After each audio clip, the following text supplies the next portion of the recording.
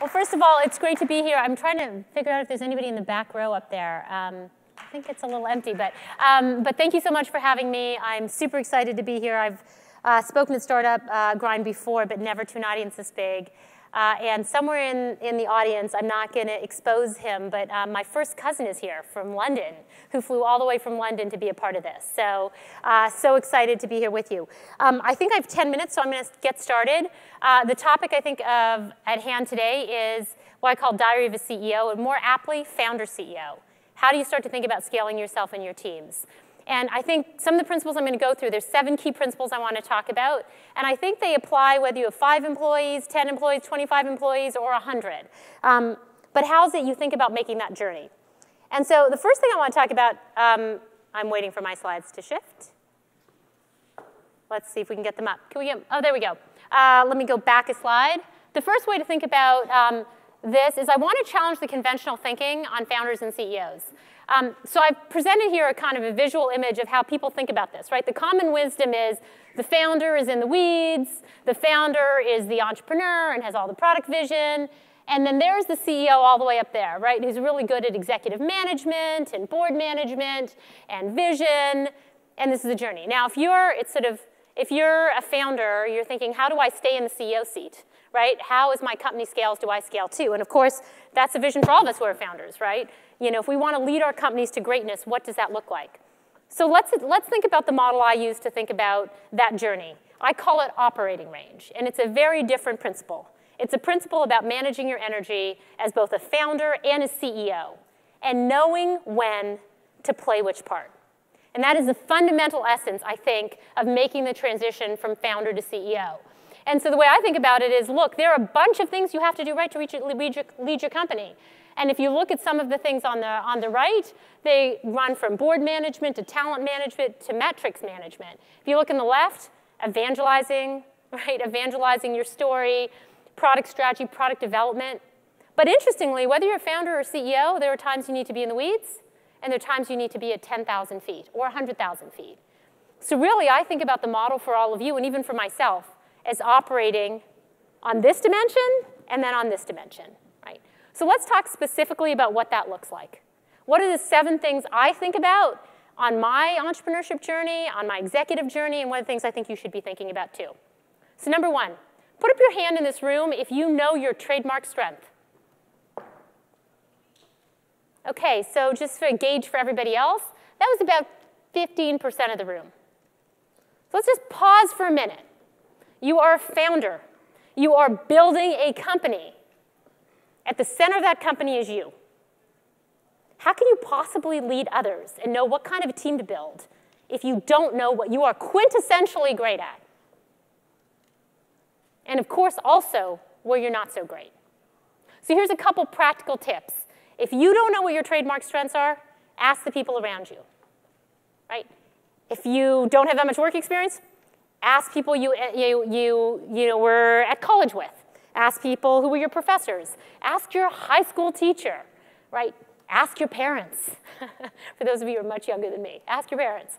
Um, but the reality here is, if you don't know your trademark strength, I will posit that it is impossible to build a company around you with any kind of self-awareness at all. ABR, always be recruiting. What's one number one job of a founder CEO? recruiting. And when I say recruiting, I don't mean recruiting just for the jobs you have open. I mean recruiting for the jobs you don't have open. I mean always be recruiting. Right? What's the number one characteristic of you know, startups that thrive? They have great talent.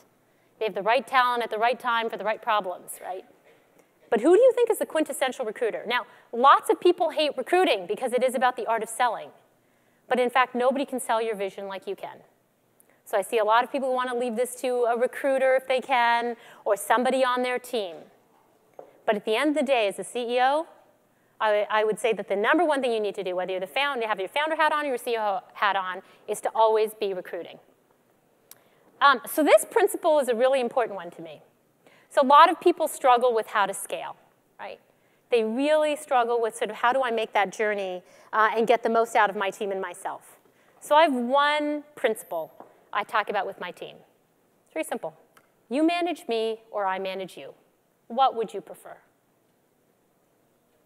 How many of you as CEOs want to be in the business of actively managing every single person on your team to deliver their results? How many of you would like to be managed?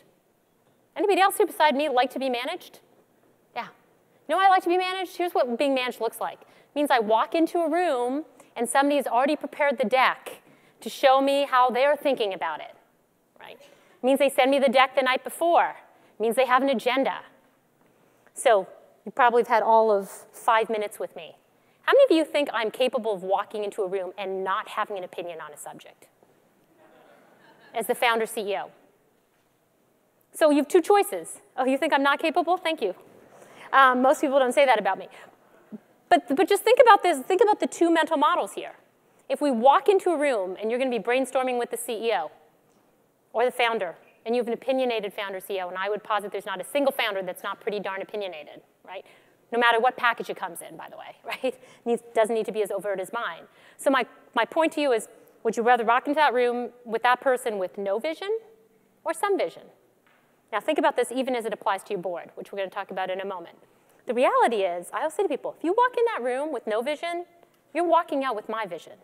Not because it's the right vision. Because in the absence of vision, what's a founder going to do, or a CEO? They're going to fill in. And they're going to tell you what the vision is if you don't spend some time telling them. So how do you get the most out of your employees? You want to teach your employees how to manage you. I say to people, this is what it takes to work with me, right? But manage me. I'm happy to be managed. There's nothing I like better than walking into a room where somebody has done the work and has an opinion. And I can guarantee those are the people who walk out of the room and both leave me the ability to scale and go off and do other things. And nine times out of 10, it's probably their vision, not mine. So this, this is a really important principle. How does this translate to those of you who have boards? Anybody in the room already have venture funding and have a board? Some of you, none of you, a few of you? Okay, so let's just, for those of you who will be fundraising, let's take this principle one further. So, in the dynamic with the board, who's managing who? Do you want your investors managing you, or do you want to manage your investors? Thank you, right answer. So think of yourself as the CEO or the founder CEO in the center, where you want to be managed, and upwardly, you're managing your investors, right? Because classically, your investors want to be managed too. How many of you think your investors want to be in a boardroom where you are brainstorming with them the vision of the company? Would you rather walk in with a vision and have them respond and give you feedback? This is how you start to think about teams. All right, next topic. All of you, saw, uh, does everybody in here have at least one employee, somebody they're working with? Most people starting to? Okay, let's start to think about how you work with other people. This is called energy gainers and energy drainers. Anybody have any kind of sense of who on your teams give you energy and who drains you drains your energy? Yes, yes. These are the things you need to start to think about. I know you guys have listened this morning to things like how to build great teams, what to do in toxic situations. I always call energy gain and energy drain for a CEO and founder about thinking about how do you do more of the things that give you energy and how do you less of the things that take away energy, right? Including, are you managing people who drain your energy or give you energy? Of course, this is very highly related to the thing I just talked about before, right? If you spend a lot of time managing somebody, you know, I would just ask you, do you have the right person? Doesn't mean you don't manage, but where you manage is important? I find that all my energy drains when I'm managing at the micro level. That doesn't mean, by the way, as a founder, I don't have to dig in at 10, at 10 feet or at 5 feet or at 1 foot if that's what it takes. Because sometimes problems require you to just roll up your sleeves and figure it out and not leave it to anybody else. It's not all what I'm suggesting. But you want to spend your energy on solving the problem, not managing the person who is the problem. Um, heads up versus heads down. So one of the most important things in making the journey from founder to CEO is thinking about when you need to be heads up and when you need to be heads down. Any ideas what I mean by this? How many of you think it's enough to build a great company if you just put your head down and do your work? As a CEO, you are expected to know when to lift your head up and look out and let go of what's going on inside the office because if you don't go out and figure out the macro conditions, whether that's fundraising, whether that's talent recruitment, if you don't pause on all this stuff, you're not going to be even, you're not even going to be in a position to deliver a company because you have to make sure your company, company survives to thrive, right? So one of the most important principles, I think, is heads up and heads down. So heads down to me is, look, what is the mode at which you need to be looking at the product you need to deliver next week? Heads up is when you say to your team, you guys deliver the product for next week. Right now, I need to go out and find us some investors. Because every moment I spend here is a moment I'm not spending there. So I'd ask you, ask you, for those of you who are thinking about making this transition and how you think about scaling yourself, heads up, heads down. If you want to be in control of your own destiny, you need to know when to do which. So there's one last principle I want to talk to you about. I'm down to eight seconds, by the way. Um, and this one is an important one. Find your priest. Claim your religion. Anybody know what I mean by this in terms of being a founder CEO? What do you think I mean?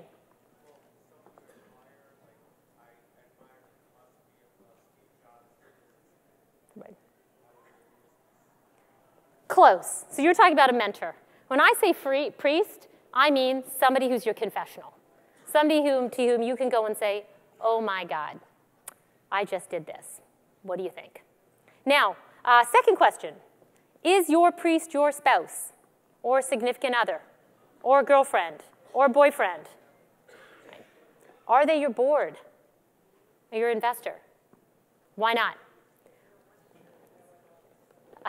so you've got a couple different things going on. First of all, um, and I say it, I'm, I'm married 12 years, hopefully I go another 12. But the reality is if I put on my husband the burden of listening to every single thing that went on with Joyus, and now the Boardlist, which is my second startup, I mean, I don't know what would happen. He is not paid enough money to listen to me bitch 24 hours a day when really what he needs is a partner, right?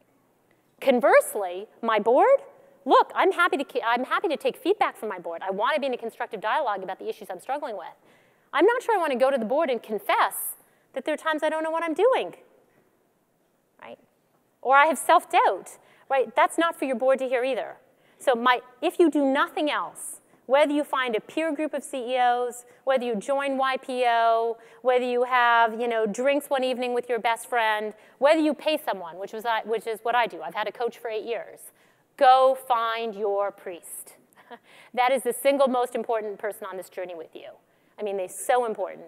Sometimes a co-founder can be that, sometimes they can't, quite frankly. It depends what role they're in playing in your company. And when I say claim your religion, the last key essence here before I wrap up comes all the way back to the beginning, right? When I say claim your religion, know what you are and know what you're not, because you're about to build an entire company on it. So if you are passionate and opinionated and you can't help but have an opinion when you walk in the room, well, prepare your teams for that. When you recruit people, tell them that. You know, the notion of knowing your identity is, as a CEO is so much more important as a CEO for a company than not having an identity and being afraid to claim it. So the last image I want to leave you, leave you with is this. Right? So you think back to that journey I talked about, the founder CEO journey that goes this way and goes this way, and you're always managing on that range. The last image I want to keep you in mind for you is drafting. As a CEO, your biggest job is to draft. Who are you drafting in front of? Your team. Who else are you drafting in front of? Your board. Why are you drafting? Your job is to be out in front and to make sure they are following behind you.